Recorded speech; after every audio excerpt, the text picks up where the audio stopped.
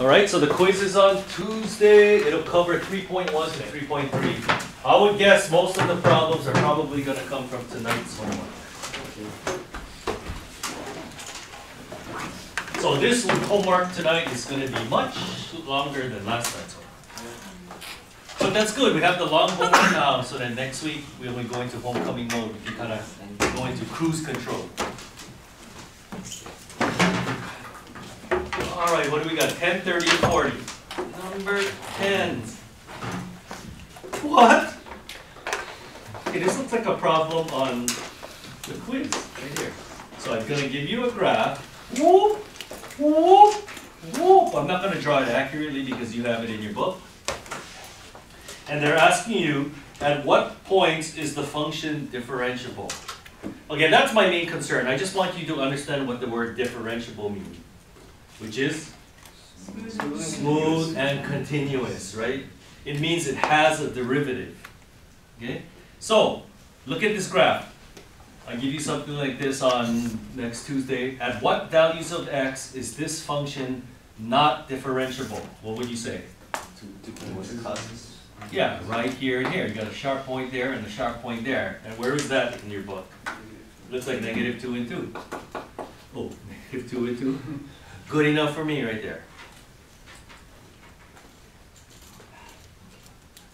Come on, those other questions are just nonsense. Differentiable, that's, that's what you need to know. Okay, number thirty. Where's number thirty? What? Are you guys putting these problems on the board because they're just even numbers? Is that it? You're playing the game? Well, that's good, because you know what? I already told you yesterday, this is, this is on the quiz. Could you use your calculator? Yeah, you have to. Oh. You- Can anybody do it without? I'll give you, I'll give you all the money in my wallet. No, I take that back. I'll give you five dollars if you can do this without a calculator. Graphic, you. Yeah, graph it without a calculator and then look at it and figure out what, what function that is. So do you guys remember how to graph the derivative of a function? d over dx, negative natural log absolute value cosine x such that x equals x. So you graph this on your calculator, and I'm gonna tell you what, what screen to be graphing in. It's probably gonna be Zoom trig or V window trig. Two, three, four, and then one, two, three, four. If you graph this on your calculator, you should see this. Let's use a different color. And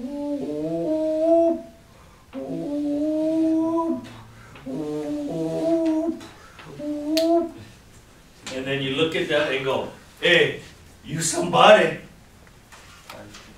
Yeah, that's tangent. Exactly. So again, you're gonna have to know your base graphs, yeah? So the derivative of this appears to be this. But we really can't say for sure until we actually do it algebraically, but I'll tell you right now, yes, the derivative of that is that. You guys understand that when you graph it, you really don't know, I mean, it looks like a tangent graph, but how do you know it's exactly a tangent graph? You know what I'm talking about? Yes. Alright. Okay, so that's, and here, for those of you still wondering how to play the game in this class, see, you did this home, did you do this for homework? So this is on your calculator right now? Just leave it on your calculator, so Tuesday's quiz, you just change that to whatever I give you. We don't have Oh, to, like, we just write the answer, yeah, on the homework, we don't have to draw the graph. Well, if you draw the graph, that can, you might be able to get partial credit at least, right? Because what if yours is wrong? Then I have no choice but to give you a fatal error, right? But then at least if you draw your graph and then your answer looks like is correct for the graph you drew, then that can give you half credit. Yeah? But if you only have the answer, it's either all or nothing, right? And then number forty. True or false? Come on. 50-50 chance. If f has a derivative at x equal a, then f is continuous. Duh! This is what differentiable means. If a function has a derivative, that means it's differentiable. That's what differentiable means. It has a derivative. And if, if the function is differentiable, that means it's smooth and continuous. So they're saying if f has a derivative at x equal a, then f is continuous. Yes, because differentiable means smooth and continuous, so the answer is true. Or you're just asking that because it's even. Shameless. All right, today we're going to use, we're going to learn, oh, we're going to finish early today, hopefully. We're going to learn the rules for computing derivatives. So from this day forward, when you do your homework, starting from 3.3, not 3.1 or 3.2, 3.1 and 3.2, to compute a derivative, you gotta use the difference quotient. But now, we're gonna learn shortcuts for finding derivatives. So starting from 3.3, you never have to use the difference quotient again. However, on the quiz, I'm telling you right now, one of the questions is gonna say, use the difference quotient to compute the derivative of this function. So no, don't, take the 4. 16 is the good score. In fact, you know what, I think it's gonna be a maxi quiz. Nice. And then who knows, it might be upgraded to an ultra maxi quiz. Because this is the only thing we're gonna have next week because it's homecoming. Right, we have it early in the week and then we can just play the rest of the time. Yeah. We're gonna set up the synthesizers in the back, the microphone's gonna be hot, Oh, yeah. karaoke. Yes. Is anybody gonna volunteer? I can Bring play your piano. instruments. Huh? I can play piano, so can a couple other people in this. No, but who's gonna sing? The microphone's gonna be hot. I'll sing. Yeah, Okay, David there you go. What kind of songs do you sing? I'll sing anything. He's being quiet. Yeah. Okay, I gotta remember to bring all my equipment from home then. That's really guitar. Yeah, that, that's good. Cause what year did Jake Louis graduate? Uh, You? That was two years ago. Oh, cause I had him for pre-calculus honors at better AV, so both times, both homecoming week, we were just jamming. Oh, he's so good.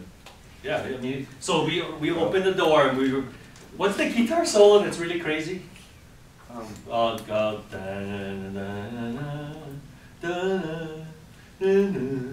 You know, Journey. oh, Don't stop believing. And when the, the guitar solo, oh, he was just ripping. It was un- unbelievable. Can anybody do that? Okay, here's the first theorem. If y is equal to x to the nth power, where n is a real number, then to compute the derivative, all you have to do is go nx to the n minus 1. Now, if this were BC, I would have to prove this to you, but we're AB, you just have to be able to use it. Now, the other class asked to see the proof though, and I showed it to them. You guys want to see it? Just Yes. You guys want to pretend like you're in AB, I mean BC? Yes. See, that's so sad. Okay, I will. We're still gonna finish early. So, look, you set up the difference quotient, limit h approaches zero, f of x plus h, sub- substitute x plus h, minus f of x, and then you divide the whole critter by h. This will compute the derivative, right? For any function. Now, the question is, how do you expand x plus h to the nth power? Some of you barely can do x plus h to the third. You have to use the binomial theorem. Oh. oh. Does this look familiar? Well, at least tell me what the first term is gonna be. X X to the n, then what's the next term? X. n Oh, times x to x to the n minus one h. The powers of x go down by one. The powers of h go up by one. That's how the binomial theorem works. Wait, what is n? Wait, but why do you have n? Because look, okay, look at If you have x plus h squared, isn't, you expand that, don't you get x squared plus two x h plus h squared? So it's n Who just like a loses random two? number. See, that's the n, that's why, right? Oh. expand it out. Or if you actually, if you expand x plus h cubed, you get x cubed plus three x squared h plus three x h squared plus h cubed. See, look, Can you do it fast? huh? Oh. This is algebra two. And then look, the powers of x are going down by one. The powers of h go up by one. The two powers always add up to three. That's the pattern of the binomial theorem. Except, this is for two and this is three, this is for n. Okay, so what's the next one gonna be? H squared. n. People with PCH, come on, n minus one over 2 factorial, the power of x goes down by 1, the power of h goes up by 1. And the thing just keeps on going. It keeps on going. Because sometimes, see, if, the, if n is a whole number, it stops. But if it's a negative number or a fraction, it just keeps going forever. Minus x to the n, and then you divide everything by h, and just like normal, this cancels that. Can I factor out a h in the top? You bet your fifty. So you get n x to the n minus one plus n times n minus one over two factorial x to the n minus two h, and it keeps on going. Divided by h, these cancel out. Now can I plug in h and get something? What happens when I plug in zero for h here? Zero. This goes to zero. And then this term has an h squared in it, so that's gonna go to zero. The next one has an h cubed, so zero, zero, zero, zero, zero. So what's the only thing that's left? n x to the n minus one, there you go, that's the proof. See, that's the difference between a, b, and bc right here. I like a, b. No, I'm serious, that's why BCH, that's why we learned the binomial theorem, because it came up right in the beginning of the course. You have to know the binomial. What's the binomial theorem? Do we have to know? Huh? Do we have to know the binomial theorem? No, we're AB. You just gotta know x plus y cubed. Cubed is the highest you gotta be able to do in AB. So, but some of us still don't even know. Okay, let's look at some examples. If this is y and the third, let's make a chart. See, this is how easy calculus is. Calculus is so easy, the concepts. It's the pre-calculus part that gets you in trouble. Okay, what if y equals x squared? Using the power rule right here, what is the derivative? All you gotta do, if you haven't figured this out, you put the power in the front, and then you reduce the power by one. So to take a derivative, all you have to be able to do is be able to subtract one. Right. Okay, so what? Two, put the two in the front, and then subtract one from two, you get one. So two x to the first, which is just two x. Finished. Isn't that a lot better than doing difference quotient? Okay, what about x to the seventh? Seven Seven x to the, Six. see how easy? Imagine doing a difference quotient for that. You would have to go x plus h to the seven. Can Yeah, exactly. That's why we have a shortcut. Okay, you guys think you're good now, yeah?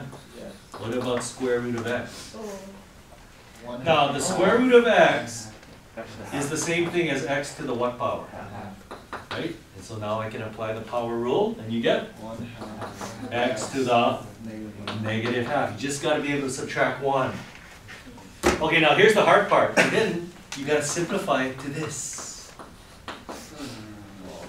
Can do? What? What do you mean no? x to the negative half means 1 over x to the half, but 1 half power means square root, right? See? What, what's hard, the calculus or the algebra? One part. Exactly. Okay, what about 1 over x, which is the same as x to the Negative one. negative 1, applying the power rule? Negative 1x, of course we don't write 1, to the negative 2. And then simplify it to negative 1 over x squared. That one can do, right? Okay, oh, you guys think you're good now? 1 over cube root of x. Okay, now that's the same thing as x to the what power? Negative 1 third. Apply the power rule and you get negative 1 third x to the what? You gotta be able to subtract 1. Negative 4 thirds. See, you can't even subtract 1. You know, it's a fraction, is the part. Okay, then you gotta be able to simplify it to negative 1 over Three. 3 x cube root of x. Wait, how'd you do oh. that? What? One of them is one. It's called algebra 1, people. Can we review that? One and one third. Thank you. So isn't this, okay, x to the 4 thirds, right? Negative exponent means it's in the denominator, right? And then, isn't 4 thirds the same thing as x to the 1 times x to the 1 third because you add the exponents? And so that's x, and that's x to the one third. Boom. Or you can think of it as, or another way to think about it is, that's the cube root of x to the four, but you can bring out an x cubed as an x, right? The cube root of x cubed is x. Okay, you know what, we're AB, just leave the answer like this, and nobody will get hurt. And just pretend you know what it means. That's sad. Okay, now let's go back to the, I forgot, I, I, I didn't do the easy one at the beginning, we should have done the easy one first, what about x? One. What about x to the first? The derivative is one. Because look, that, isn't that like x to the one? So applying the power rule, that's one x to the zero, which is one. But see, sometimes it's just easier to think of what the graph looks like. What does y equal x look like? It looks like that. What's the slope of this line? One, because the derivative tells you the slope, right? And a line always has a constant slope. The slope doesn't change throughout the whole line. Okay, so if that's the case, what's the derivative of seven? Think of the graph. What, that has a graph? Are you kidding me? Y equals seven is a horizontal line, seven units above the x-axis. What's the slope of a horizontal line? Zero. Oh, so the derivative of any constant will be zero. Yeah, because it's a horizontal line, the slope of a horizontal line is zero. Okay, so this is called the power rule. Easy, huh? See, that's why I tell you, calculus concepts are easy, but see, it's simplifying. That, that's what's gonna get you. Okay, next theorem. If y equals a constant times a function, and you guys know what a constant is, right? Like five, negative four, pi, right? So if you have a constant times a function, to take the derivative, you take the constant and you throw it on the side like an unwanted pet, and then you multiply it by the derivative of the function. You guys know what throw it on the side like an unwanted pet means, right? Yes. Leave it. Get on the side of the pet. Okay, so y equal, let me give you an example, five x to the 4. Is that a constant? Yes, so to take the derivative, you throw the five on the side, like that, like an unwanted pet, and then you multiply it by the derivative of that, which is Four. four x cubed. And so your final answer is twenty x cubed. That's how we apply that theorem, but in real life, you can see that if you put the four in the front, you can just go five times four is twenty, right? We can bypass that step. I just put that step in so you can see how this theorem is being applied.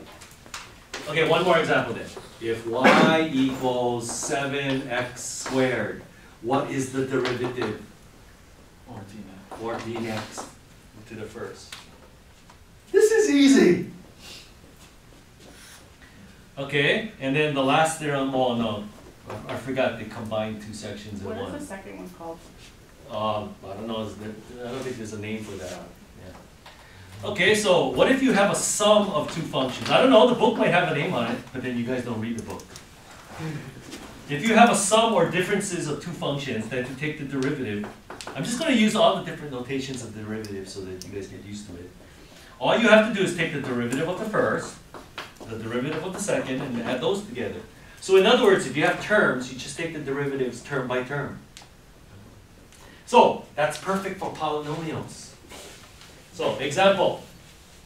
What if you have a polynomial? Uh, uh, 2x to the fourth plus 3x cubed plus 4x squared plus 5x plus 6. How do you take the derivative of that? Well, you just take the derivative of each term, one at a time. What's the derivative of the first term? 8x cubed. And then the next one?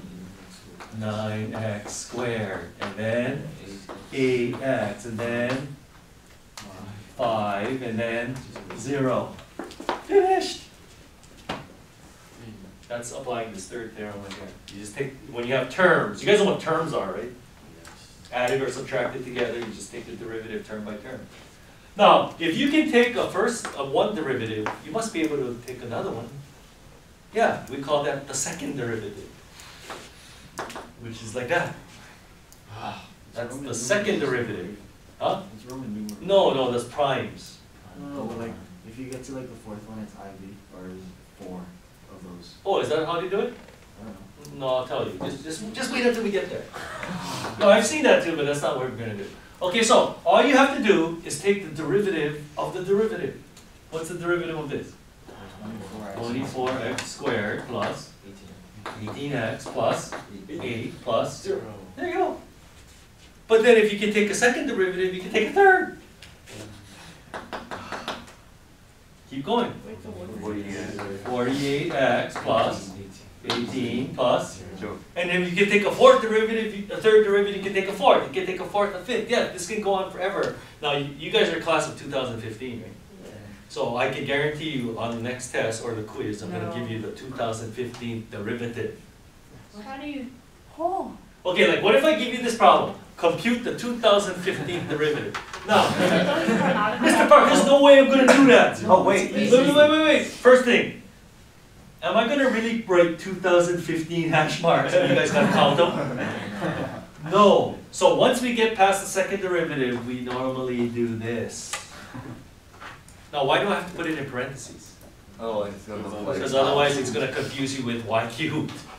So if it's in parentheses, that means the third derivative. So if you can take the third derivative, you can do the fourth derivative, which is 48. What's the fifth derivative? Zero. Zero, and can you see, starting from here, it's all zeros. So therefore, the 2015 derivative is zero. Yay, okay. See, you guys can handle, Unless it's, unless the power show for two thousand. unless I have something up my sleeve. No. No, I do, I do. But don't worry, by the time we get there, it's gonna be easy. With like an accident It's that's okay. 2000. It's two, two. So what is the, All the ones like, what does that even mean, like the fourth derivative? Oh, okay, so in, in terms of physics, if this is the, we're gonna learn this couple chapters from now, not cou- couple sections from now. If this is position, if you take the derivative, what's the slope of the position graph? You guys in physics? Yeah, this is your instantaneous velocity. And then what's the slope of the velocity graph? It's an issue. Acceleration. And then what's the slope of the acceleration graph, physics people? Three D something. The rate at which the acceleration is changing. There's a name for that. I'm pretty sure it's in your physics book. It's called.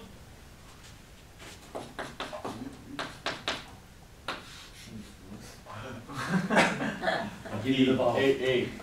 No, I gave the vowel. What's said A? These are the vowels. L. N.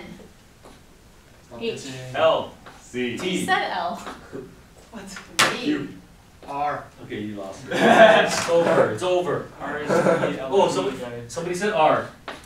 Yes. Sorry, lost. P. I was repeating fern. Jerk. It's jerk. We did not learn that. You guys didn't learn it? Not yet. No. But whether you learned it or not, I bet it wasn't in your physics book. We don't read the book, Mr. Park. Anyway, so as far as basic physics, the first and the second derivatives have basic applications, right? But that doesn't mean we can't take more derivatives. Wait, what's after derivative? And you guys, and you guys in um, AP Econ, right? Derivative is simply the slope of the line, like I told you yesterday. The slope of the mar, the revenue graph is simply the marginal revenue. So whenever you hear the word marginal in AP Econ, you think slope or derivative. Are you guys doing that already? See, it's so, no, because you're not taking AP Econ. I wanted to take it. Okay, we gotta learn two more theorems, and then we're done. Hopefully we finish a little early. Okay, what would happen if you have a product of two functions like this? What if you had, I don't know, x plus one times x squared minus x plus one? And I ask you to compute the derivative. Can I just do this? Oh, this is easy, Mr. Park. Just take the derivative of the first one, which is one, and then take the derivative of the second one, which is two x minus one, and just multiply those two together. Oh, you Yeah. can tell from the tone of my voice, no. If anybody ever does this on a test, this is what we call a triple fatal error. If the problem is worth six points, you just got yourself a minus sixteen system. Eighteen. Go by what I write, not by what I say. So you can't do that. So what do you do, Mr. Park? we use the product rule. Okay, yeah, you can multiply it out. But sometimes it's really bad to multiply it out. So we use what we call, or, or sometimes you can't multiply it out because what if it's this times like a trig function there? Oh, well, I guess you could, but it's going to make it make it even more complicated. This is how the product rule works. If you have a product of two functions, you guys know what product means, right? To take the derivative, this is it. You take the derivative of the first, you leave the second one alone. Plus, leave the first one alone, derivative of the second. That's the product rule. So basically, it's like taking turns. No, don't, don't think that. Don't think that. It's just taking turns. Derivative of the first, leave the second one alone, then you take the derivative of the second, leave the first one It's alone. like the, Don't think that. Don't think that. That's what he said. oh, Don't think that. Just think, take turns. Okay, you can think whatever you want. I Wow, can you're stop. just. He said something about that looks like the sign. Oh, Yeah. yeah. It does. Yeah, but then but this is derivative. Really different. But same pattern. I can't stop you. Okay, so how do I how do I apply it to this? Okay, so take the derivative of the first, leave the second one alone. Plus, now you leave the first one alone, times the derivative of the second. Two uh, x uh, minus one. There you go. That's the answer. Okay, now here's the hard part. Simplify it. Because on the on the quiz and the test, quiz is four points. You take the derivative correctly, you get two. You want the other two simplified. You have to simplify it because ultimately our goal is to make a number line for it. Because in this chapter, we're learning how to compute derivatives. Next chapter, we're going to learn how to use them to solve problems. And in order to solve problems, we have to know when is the derivative positive and when is it negative. So in other words, we're going to have to make number lines for every derivative that we take. Which means you have to simplify that and have it in factored form. Okay, so how do I simplify this thing? Just multiply it all out. Okay, I'll do the first one. And then this one, you got a FOIL, so what is that? Two x squared minus x plus two, so plus x minus one. Yes. And then, oh, these cancel, these cancel, so all you're left with is three x squared. That's a pretty nice answer, Monsieur Park. Can you guys do that for the other two points though? Yeah. I mean, this is, this is on the easy end of the scale, it's like quite involved algebra. Now, I'm gonna teach you a lesson here. Watch this. Yes, you can use the product rule, but if you can simplify the problem before you start, that can save you a lot of time. So, what if you had this problem? Like, uh, like when I look at this, I'm thinking, hey, you somebody. Oh, that's probably Triple. six one Cube. This is the sum of cubes, that's right. This is x cubed plus one. Can everybody do that? Well, if you can't, then just do. Well, you can either multiply it out if you want, you would get that, or you can just use the product rule. I mean, it doesn't matter as long as you do correct mathematics. But come on, when you come out of algebra two, this is supposed to be engraved in your brain. And then now, look how easy this is. What's the derivative of this? Three x squared, finished, same answer. But look, I didn't have to do all that work. So the lesson to be learned is, if you can simplify the problem before you start, simplify it. Are you guys gonna remember that? When you're doing your homework Monday morning? Um. Except Ichimura, the following Monday morning. Okay, wait, Mr. Park, if there's a product rule, must be there's a quotient rule then, yeah? Yes, this will be the last thing to go over today. Okay, so what happens if you have like a quotient? Three x over x squared plus one, see how it's a quotient? Can I just do this? Take the derivative of the top, three, and divide that by the derivative of the bottom. No, again, if anybody ever does this, triple fatal error. Minus eighteen. No, you must use the quotient rule. Now, the quotient rule is not as easy to remember as the product rule, because the product rule, you just gotta remember, take turns, right? Or you forgot it already. Here is the quotient rule. If you have a quotient, then to take the derivative, you do this.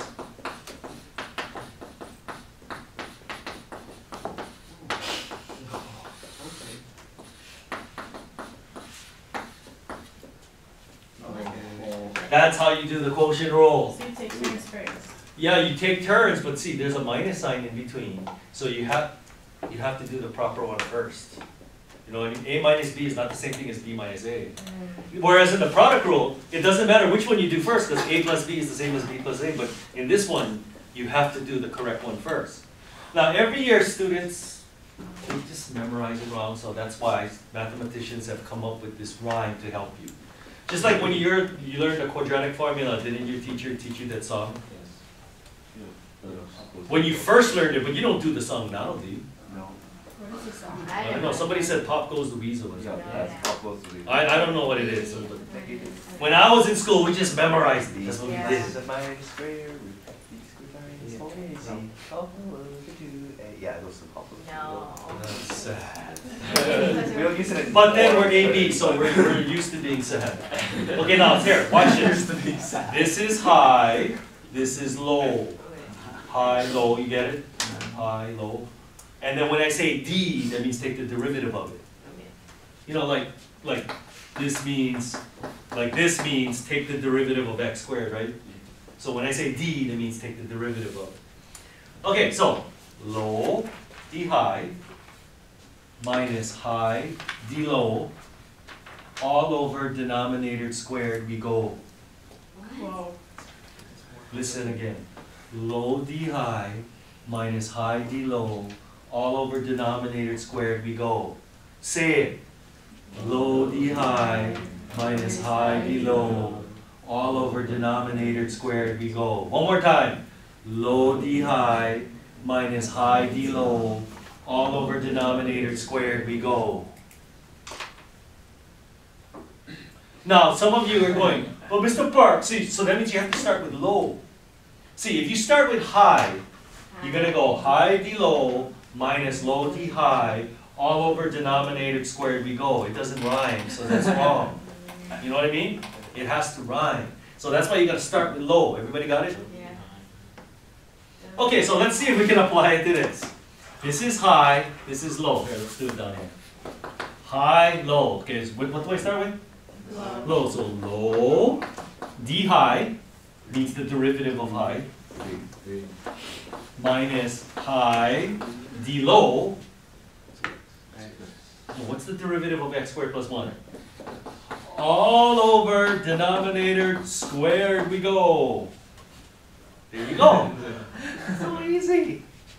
So that's two out of four points. You want the other two points, simplify that. Now, how would you simplify this? Would you just multiply out the whole top? Or do you notice that there's a 3 and a 3, so factor that out? I don't know. There's a 3 and a 3. You factor out the 3. We're either gonna do it now or later, it's up to you. Now. Okay, factor out the three now, what's gonna be left?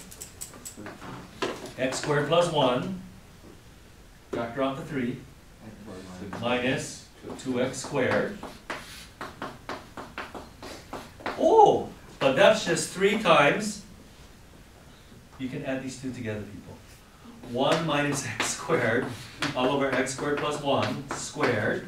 And then that can be factored. One plus x times one minus x. There you go. Now we're ready for the number line. You have to be able to simplify, because I told you, next chapter, you're gonna have to be able to tell when this is positive or negative. So you put it in factored form, now, okay, let's just, this is what you're gonna do. Next chapter. Okay, everybody can take derivatives, okay, that's easy, you just follow the dumb rhyme, right? But now you gotta simplify it into this, so that you can go, what makes the top zero? Negative one and one. What makes the bottom zero? Plus or minus i, but we don't do complex numbers, right? So, you guys remember how to test the number line? Think of a number bigger than one. Two, plug it in, positive, positive, negative, positive. So it would be negative. And without doing any work, how do I know that's positive? Because one came from this factor has an odd power, so it's gonna change, right? And then, how do I know that's minus? Because negative one came from this factor, odd power, so it's gonna change. And that's what you're gonna have to do. Because in order to solve problems, you gotta know when a derivative is positive or negative. Because that's gonna tell us something, but not right now. Is that like what you're sketching a graph? That's Exactly. Exactly. Okay, one last example, we're done. y equals x cubed. No! Silence! Yeah, yeah, yeah, yeah, that's it. x to the fourth plus one over x to the fourth. Okay, Mr. Park, I see a quotient, I'm going to use the quotient rule. Yeah, what, what's wrong with that? A quotient. So here we go. Low, d high, what's d high? Three X. What? Four You gotta be able to put the four in the front, people. Four x cubed, low d high, minus high, d low, what's d lower? Four x cubed. Oh, we cannot put a number in the front. What's going on? All over denominator squared we go. Okay, okay, now simplify it. That go four Okay, now, do you wanna just multiply it out, or do you see, oh, I see a four x cubed there and a four x cubed there, I'm gonna factor it out. Okay. Factor out the four x cubed, then what's gonna be left? X to the four Minus. minus x to the four minus, what did, Plus the minus. you gotta distribute that minus sign. Oh, Plus. See, it's algebra, calculus easy concept, algebra hard. All over x to the, what do I do with the exponents? Six or eight? Six. Eight, you multiply when it's outside the parentheses. See what this, we get the car! Okay, let's simplify this. This cancels that. So you get negative four x cubed over x to the eight. What do I do with the exponents?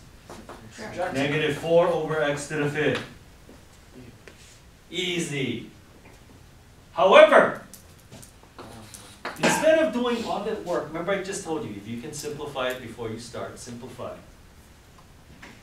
What do we do? I already told you this how many times. When we see a oh. single term in the denominator, lift and separate.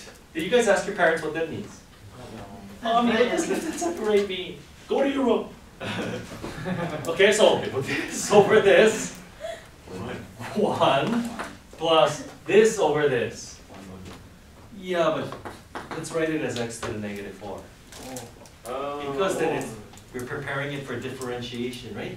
So when you take the derivative, what's the derivative of one? Zero. What's the derivative of that? Negative four x to the negative five. Finished! Can you see it's the same thing? So again, the lesson to be learned, if you can simplify before you start, do it. Because it saves you work. Okay, we're done. You have, oh, I'll do another class was faster. Five minutes left. 你